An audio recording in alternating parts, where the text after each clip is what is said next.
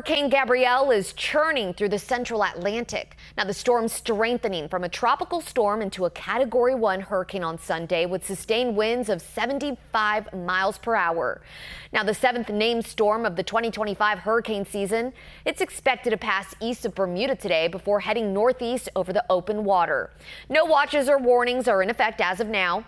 The National Hurricane Center warns that Gabrielle could cause life-threatening surf and rip current conditions all throughout the coast of North Carolina.